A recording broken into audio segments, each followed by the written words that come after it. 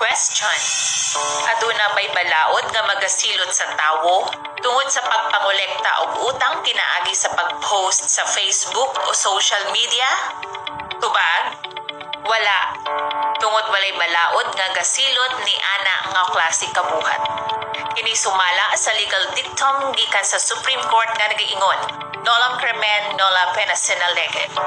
Pasabot, walay krimen kung walay balaod ka prohibit ni ini. Doon na ba'y silot sa pagbuhat ni ini? Wala, wala, wala. Apan kung ang pag-post sa Facebook adunay lakip nga mga defamatory words sama sa scammer, estapador, social climber, nilad batasan. Kini nga mga words malisyoso, makadaot, makatamay ug maulawan ang dungog sa usa ka tawo. And that constitutes cyber libel punished under Republic Act 10175, otherwise known as Cybercrime Prevention Act of 2012. Sa ilalom ani nga balaod bisan unsang klasing defamation through internet. Pagasilutan kung kini malisyoso bisan pagtinuod. Magandang araw mga kababayan. Welcome na naman sa aking channel.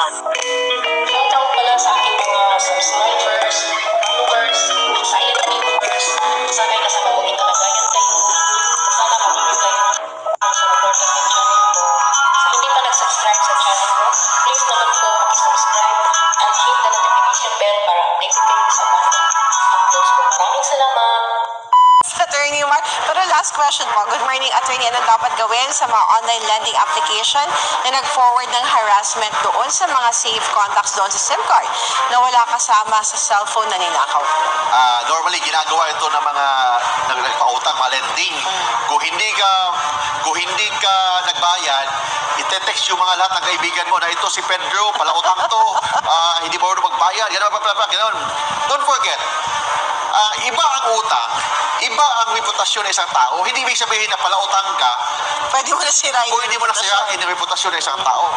Pag, pag ginagawa mo yan, you can file libel case. Uh, file libel case or slander of deeds or slanderous ang ginagawa mo. Kasi don't forget, hindi ibig sabihin na nangutang yung tao, tao sa'yo, may karapatan mo nang sirain yung kanyang reputasyon. Kasi ang reputation, in fact, mas, mas mataas pa ang value niyan kaysa baka yung inutang sa'yo, pinahiya mo pa siya. Ma- Mas mahal ang reputasyon ng isang tao kaysa yung inutang. So, ibig sabihin, kung umutang ang isang tao sa'yo, wala, hindi ibig sabihin na may karapatan mo na, may karapatan ka nang sirain ang kanyang reputasyon. Walang presyo ang reputasyon. ano? Yes, walang presyo. Alright.